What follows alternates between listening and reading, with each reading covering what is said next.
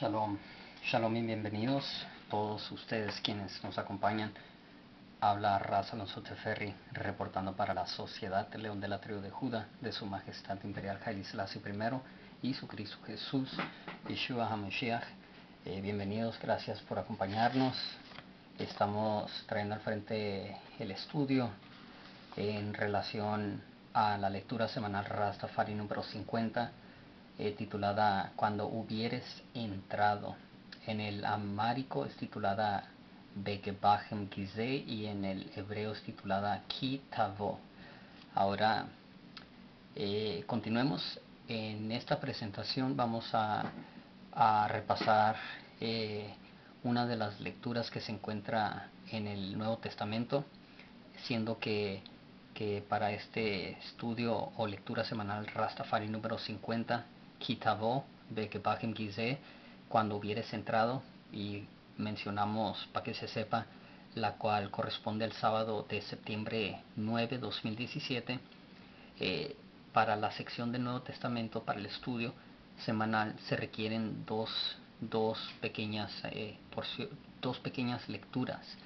Una se encuentra en la epístola de apóstol San Pablo a los Efiseos capítulo 1, versículo 3 al 6, y la segunda eh, lectura se encuentra en el libro del Apocalipsis o el libro de la revelación de San Juan Teólogo, capítulo 21, versículo 10 al 27.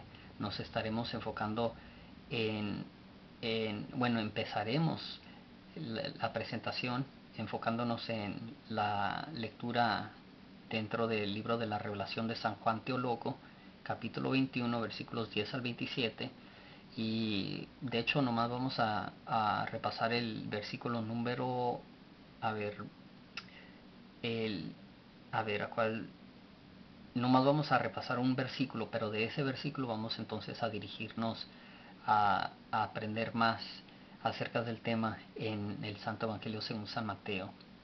Entonces eh, para que se sepa y como acostumbramos a hacerlo hemos encontrado que funciona y, nos, nos sirve en formas que no nos hubiéramos imaginado. A lo que nos referimos es el hecho de que, de que mencionamos el horario y la fecha en, en, lo cual esto se presenta. Entonces son las 5 con 8 minutos pm, 5 con 8 de la tarde. Hoy es martes, septiembre 5, 2017. Entonces, eh, libro del Apocalipsis, capítulo 21. Veamos aquí, si no estoy equivocado, a ver, ¿cuál es el versículo que buscamos? Buscamos, eh, quizás sea, porque no vamos a leer todo, pues, a ver, vamos a buscarlo aquí en nuestras escrituras en inglés. Es el versículo número 21. Entonces, dice así, y las doce puertas eran doce perlas, en cada una, una, cada puerta era de una perla. A lo voy a repetir otra vez. Y las doce puertas eran doce perlas, en cada una, una, cada puerta era de una perla. Y la plaza de la ciudad era de oro puro, como vidrio transparente. Entonces, eh, esto se en relación a la Nueva Jerusalén, pero en este momento nos vamos a enfocar en la palabra perla. Ahora, repetimos, y las doce puertas eran doce perlas, en cada una una. Cada puerta era una perla, y la plaza de la ciudad era de oro puro como vidrio transparente.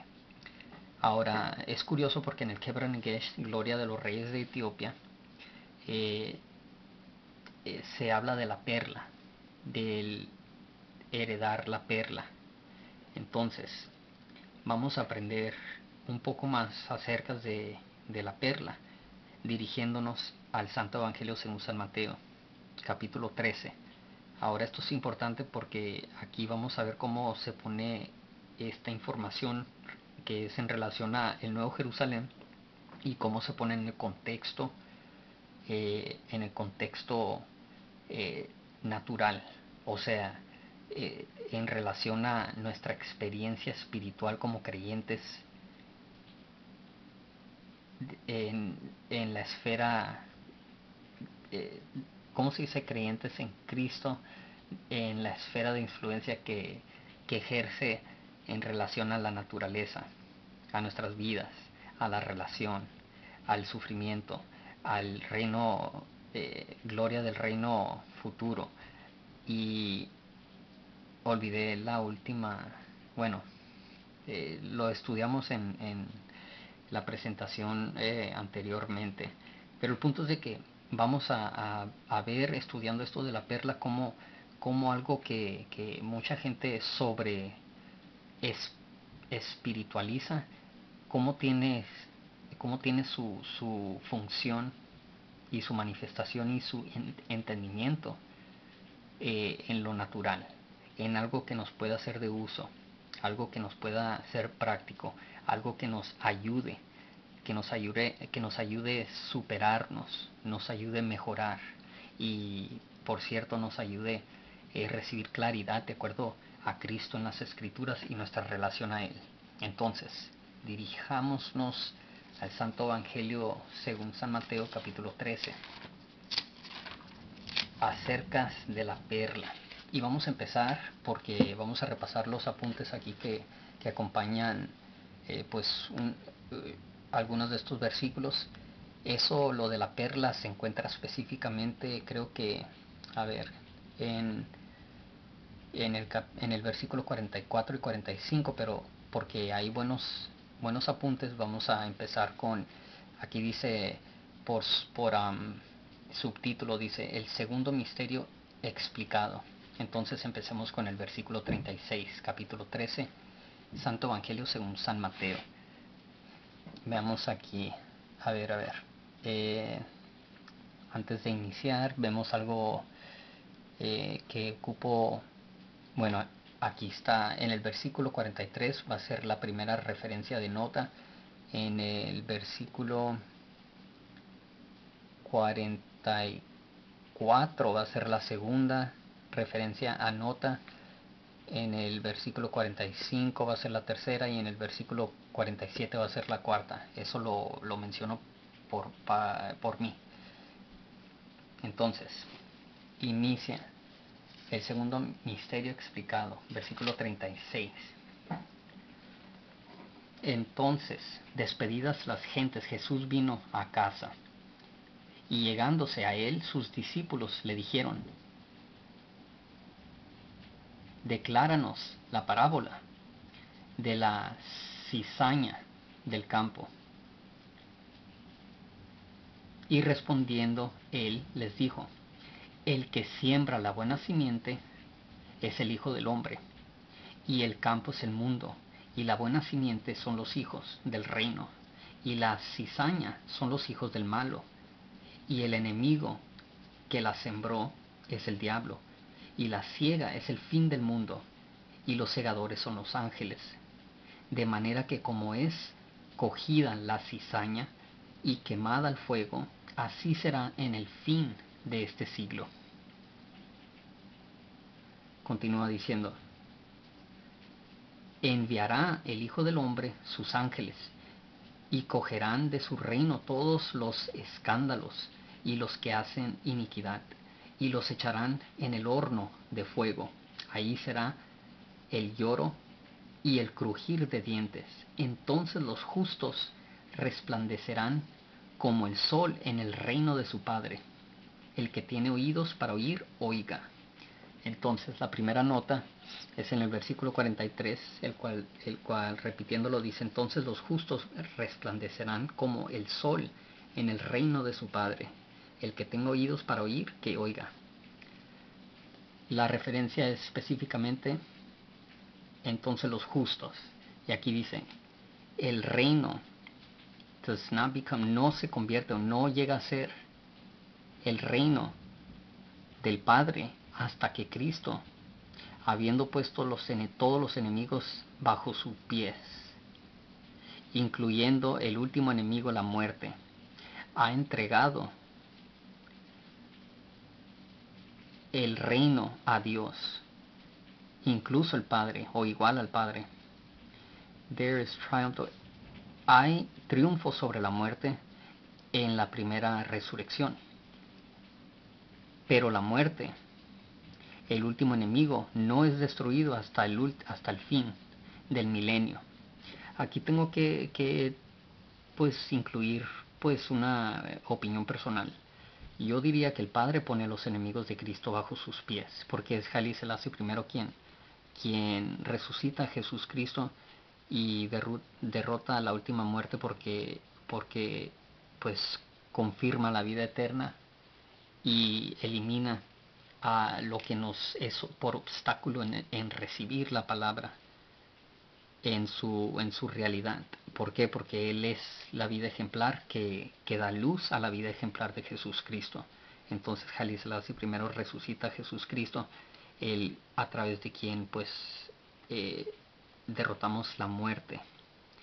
Entonces eh, no, no, no pienso eh, explicarlo más a este punto, pero, pero en mi punto de vista, en mi opinión, el reino no se, no se convierte hasta que el reino no se convierte a ver the kingdom does not become the king el reino no se no es no se convierte al reino del padre hasta que Cristo pone los enemigos bajo sus pies. Pues es Jalí Selassie primero quien pone los enemigos de Cristo bajo sus pies. Pero bueno, eh, en, cierta forma pues sí es verdad porque es la vida cristiana lo cual logró a través de la fe y justa causa que pues Jalí Selassie primero superara y, ejerciera triunfo sobre las, las, los males, pero, pero igual pues bueno, entonces digamos que es uno y el otro y el otro y el uno, somos uno, uno es. Entonces, continuando, eh, veamos aquí, versículo 44. El mismo dice, además, el reino de los cielos es semejante al tesoro escondido en el campo, el cual hallado el hombre lo encubre, y de gozo de ello va y vende todo lo que tiene y compra aquel campo. Ahora, el apunte es en relación a, lo encubre. No, no, no. A ver, to treasure, like to treasure hidden if you. Es como tesoro escondido en el campo. Entonces la nota es en, es en relación a escondido en el campo.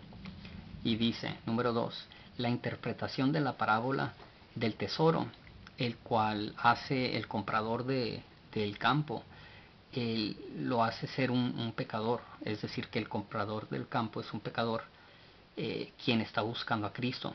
No tiene garantía en esta parábola por sí mismo. El campo, o sea que eso no es lo que significa en esta situación. Eh, me imagino que porque hay otra parábola en donde eh, el punto es, es principalmente pues ilustrar o marcar o notar pues el, algo en contexto de, del comprador del campo eh, siendo un pecador. En este caso eso no es, eso no es así.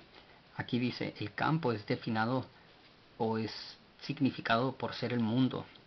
El eh, the seeking sinner el, el pecador que busca, buscador, no, no compra, pero abandona la palabra, no abandona el mundo para ganarse a Cristo. O sea que debes de comprar es abandonar, dejar el mundo para seguir a Cristo. Eh, cuanto más el pecador no tiene nada que vender. Entonces dice, ni tampoco Cristo está a la venta o por venta, ni tampoco Él está escondido en el campo, ni tampoco habiéndolo encontrado a Cristo, el pecador does the sinner hide him ni tampoco habiéndolo encontrado a Cristo, encontrado a Cristo, el pecador lo esconde de nuevo, es decir, a Cristo. En todos puntos la interpretación se quiebra. Y esto es el apunto que es en relación a ese versículo 44, específicamente eh, escondido, la palabra esa escondida en el campo. Continuando, versículo 45 dice, también el reino de los cielos es semejante al hombre tratante que busca buenas perlas. Y aquí encontramos la relación a perlas. y la referencia es específicamente a perlas. Pero antes vamos a leer el versículo 46. Dice, que hallando una preciosa perla, fue y vendió todo lo que tenía y la compró. Entonces veamos aquí el apunte. Dice, ah, disculpen, todavía no, no se acaba el, el apunte o la nota de que es en relación a escondido en el campo. Continuaba diciendo, nuestro Señor es el comprador de la terrible, del, es el comprador al terrible costo de su sangre. Y Israel, especialmente Efraín, las diez tribus perdidas, las, las perdidas tribus escondidas en el campo, en el fil, en el mundo, es decir, es el tesoro.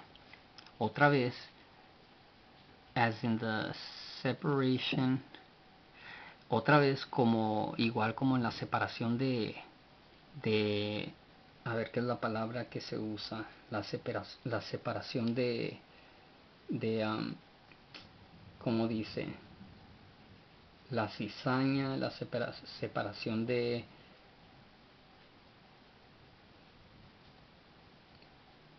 vamos aquí. Devil World Children Tears 38 a ver. El campo es el mundo y la buena simiente los hijos de la cizaña. Son los hijos del, del mal a ver. Pues la separación de, de la, hierba mala y, la fruta y pues lo bueno. Espero nos entiendan. Continuando dice dice aquí, eh, a ver, a ver, la separa otra vez la separación de, del trigo y pues lo, lo malo, las hierbas. Eh, los ángeles son utilizados para hacer la distinción, pues dice los mercantes o, los, los divinos mercantes compran el campo o el mundo para por el por causa del tesoro, por razón del tesoro. Amados por... A ver, dejen buscar una palabra aquí porque no, no la estoy traduciendo y estoy seguro que se pierde entendimiento.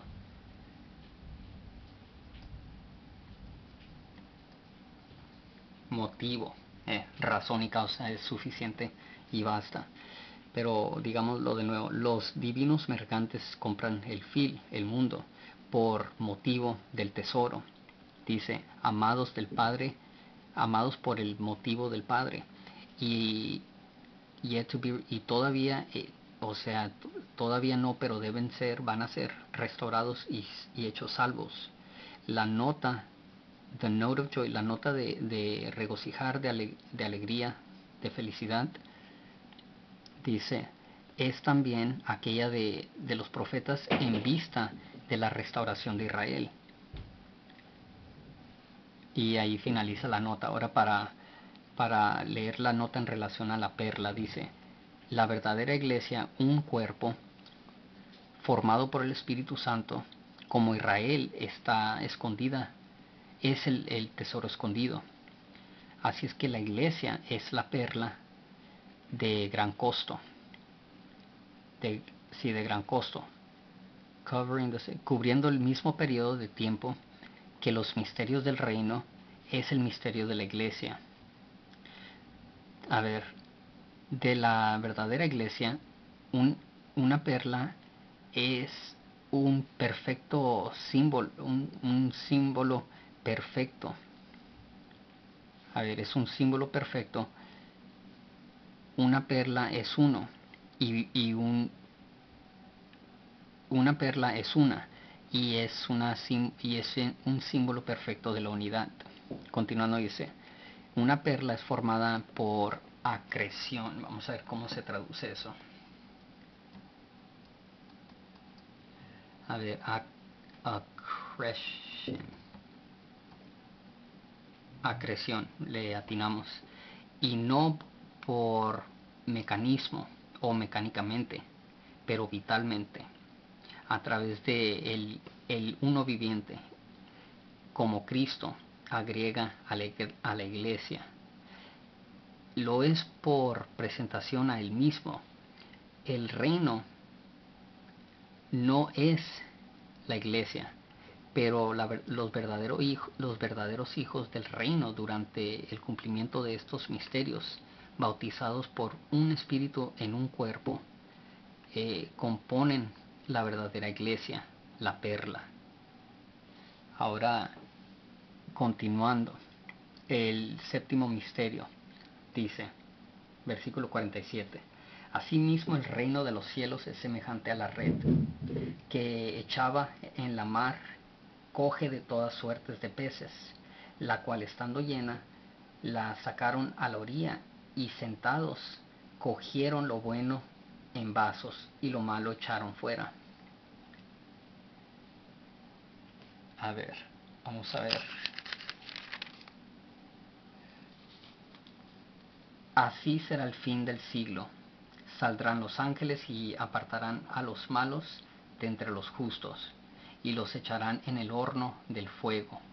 Ahí será el lloro y el crujir de dientes. Entonces, el apunte nos dice, la parábola de la red presenta otro punto de vista eh, del cual del cual pues el trigo y, las hierbas de los misterios del reino eh, como las esferas de profesiones pero con sus diferencias allí Satanás va a estar activo, va a ser un activo agente. Here the admixture, aquí el, el, la admixtura es más, is more, es más la, el resultado de la tendencia de un movimiento, el reunirse a sí mismo, a ellos mismos, aquello lo cual no pertenece a él realmente. El reino del cielo es como la red la cual, eh, habiéndola aventado al, al mar de la humanidad, reúne de todo tipo, bien y mal. Y esto permanece junto en la red y no meramente en el, en el, en el mar hasta el fin de la edad. Ni siquiera es una cobertura, es una ni siquiera es una red convertida, mucho menos un mar convertido. Infinita violencia ha sido hecha en sound ex exegesis by the notion that the world is mucho mal se ha hecho en, en, en, pensar que eh, la interpretación de que o la noción de que de que el mundo completo debe ser convertido en esta edad. En contra de esta noción está de pie o se, pone de pie nuestro Señor o la interpretación de nuestro mismo Señor eh, de las parábolas del de la, el que siembra el trigo y pues eh, las, lo malo, no sé, las hierbas, en la, la red. A ver, en otras palabras, a ver, a ver, a ver es el amor lo que se debe de demostrar cada quien. O sea, el cuerpo de Cristo Jesús es invisible porque todos quienes somos creyentes funcionamos a su servicio, lo creamos o no. En, el, en el espíritu somos uno, pero en la carne, cuando nos encuentremos y nos conozcamos, quizás ni siquiera nos llevemos bien, pero cuando se trata de las cosas que son eh, respecto a Cristo, nos podemos entender no sepan Rastafari o sepan Rastafari, eh, lo acepten o no lo acepten, sean judíos o sean cristianos, o sea, sean Rastafari o sean, eh, eh, pues, si me entienden, el punto es de que todos quienes recibimos a Cristo y creemos en Él, pues formamos parte de, del cuerpo este a través del Espíritu Santo y somos uno, porque todo pues funciona para para llevar a cabo la voluntad de él, de él quien, de quien voluntad es de llevarse a cabo Entonces, pues creo que eso es lo que lo que significa. En otras palabras, cada quien es, es lo que es cada quien en el cuerpo. Eh, quien no es Rastafari no es Rastafari y no es la intención de Rastafari forzar a todo el mundo a ser Rastafari. Eh, lo bueno y lo malo se divide y al final de cuentas todo funciona por para el bien de de, de pues para el bien porque no hay mal. Shalom